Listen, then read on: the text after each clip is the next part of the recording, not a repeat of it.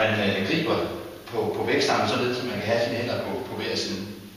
Og man skal have, man skal have stænger på, eller øh, skiver på, så man ikke kommer for langt ned. Man skal et sted starte øh, bevægelsen øh, her omkring. Som hvis man havde et par skiver på. Og ligesom i dødeløften, så skal man, altså øh, bevægelsen skal, skal genereres af ens øh, ben.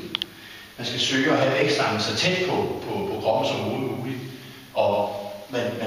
Og lige fri af gulvet, og så skal man søge at accelerere den med så meget kraft som overhovedet muligt, det man placerer knækken.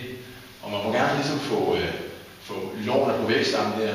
Og så skal den jo ligesom have fart opad, for man så ligesom kommer ind under og, og får den op på skulderen. Og den kan næsten kun trænes med den belastning på,